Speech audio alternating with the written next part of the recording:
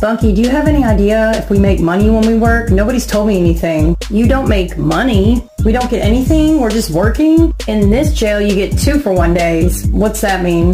For every day you work, you get a day off your sentence. So let's say you're sentenced to 30 days. If you work 15 days, you'll get 15 off your sentence. So you'll go home in 15 days. Oh.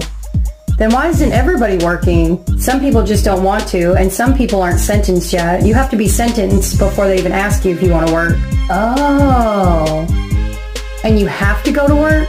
If you agree to go to work, you have to go. Unless you're really, really sick and they allow you to stay, you can't refuse to just not go to work. Oh, they're gonna make you go. And if you don't, you'll go to the hole or get some kind of punishment. I don't have that problem. I'll gladly go so I can get out of here sooner.